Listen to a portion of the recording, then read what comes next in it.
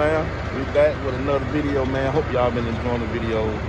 Right now, man, it's the day after Hurricane Francine, and we in the woods, which is Friday. She hit Thursday, what Thursday? So today is Friday, man. We in the woods, and Ashley came in. I'm working down there. I mean, we come in down there. Come in by myself, and the road actually looked pretty solid. I gotta make a, a loop right through here turning around and bag off down there for y'all guys see what the load at down there. But other than that, man, I'm the only one here. And uh, we're gonna try to get this thing going, y'all. I'm gonna uh, set my camera up, let y'all see. I may get stuck, but hey, we're gonna try it anyway, man. I'm gonna turn y'all back on.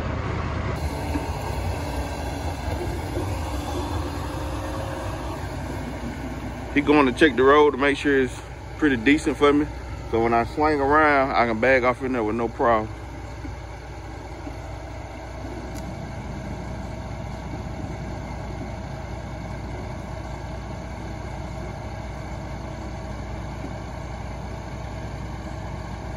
All right, y'all, the road look pretty, pretty, pretty solid. Like it rained pretty heavy and washed all of it out.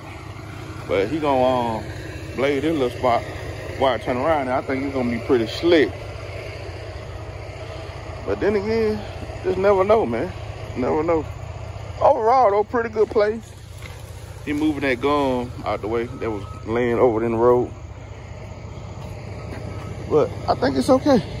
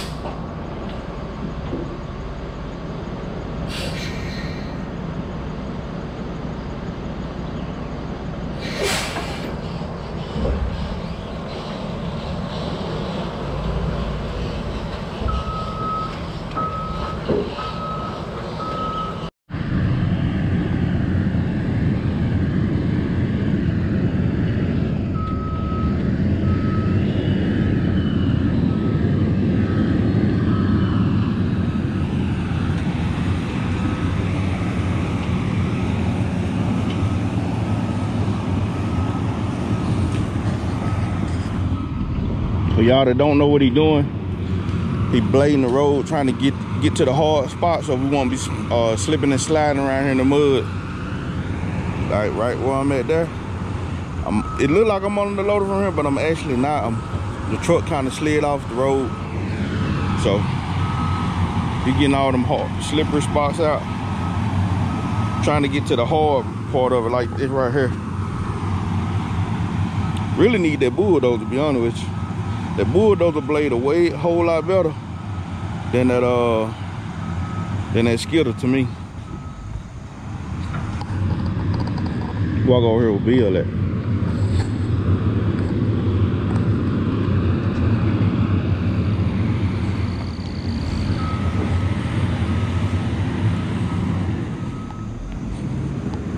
Brian ain't here yet, so let's see what we got going on.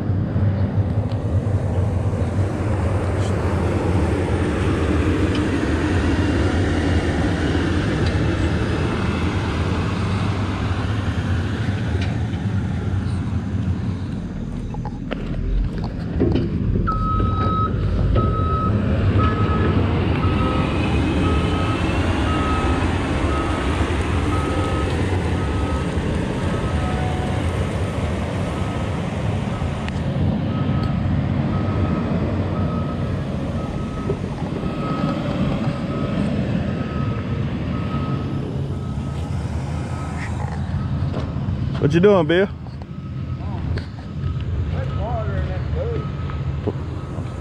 I'm just recording. I'm just recording. Getting started after the storm. That's all.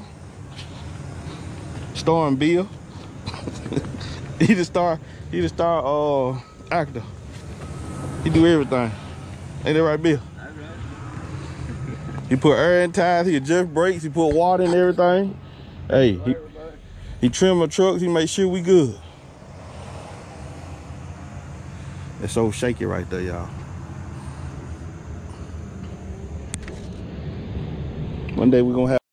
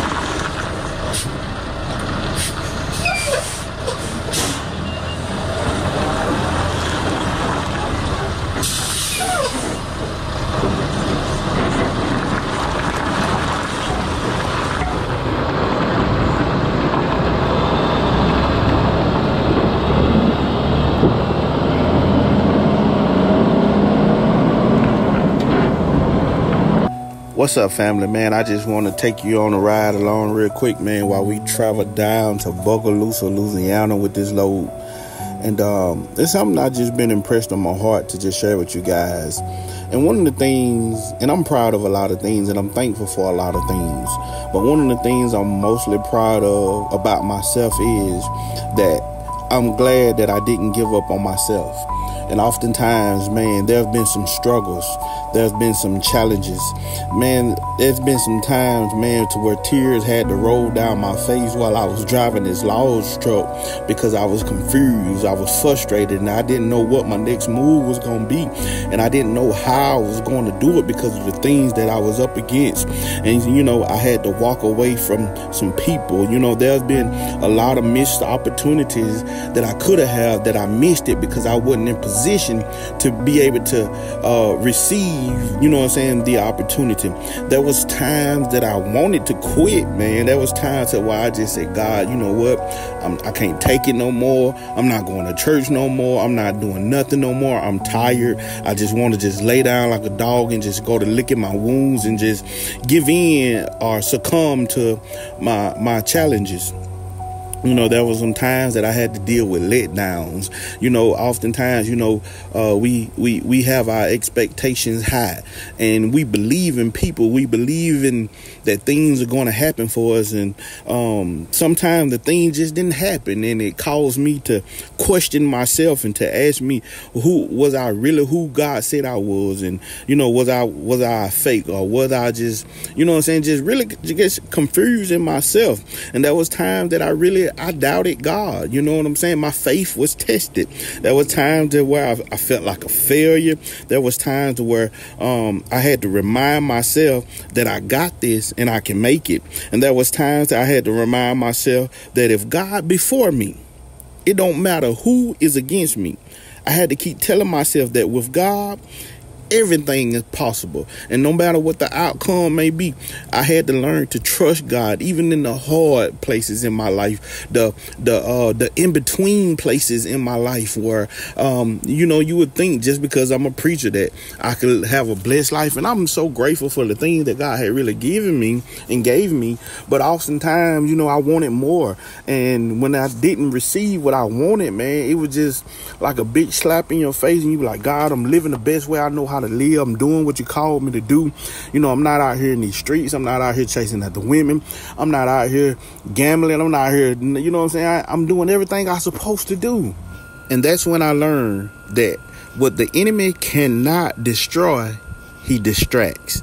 And that what he was trying to do in my life was distract me because he knew he couldn't destroy me because God's hand was upon me. And so he knew that if he couldn't destroy me, at least he could try to do was distract me. And what happened was it caused me by realizing this. I, I started getting rid of the excuses and I started playing the blame game of who wasn't there, uh, or, or what what didn't work out for me, how things didn't go for me, and I learned to survive off what's left. And that's when I learned that I was a champion because I learned to survive to survive on the broken pieces in my life. And that's all I'm trying to encourage you to do is learn how to survive on the broken pieces in your life so you can grow and so you can move forward and move on and to have a better and blessed life. Hey y'all, we want to take a moment out real quick to recognize that this video is sponsored by Gardenreet. Um, they have all different types of lights on their uh, websites. Uh, they have the night lights for your house, for your garden, for your landscape. Man, they lights are amazing. Check them out. Look, if you're looking to upgrade your your home and to make it look real good at night, y'all, I'm telling you, you need to get these lights. Y'all know I don't recommend nothing that I can't stand behind, and I stand behind. Look how well it shows at night, man. This thing comes with a transformer to where I can control the light, set them on a certain time where they come on and go off. And I'm telling you, I really enjoy them.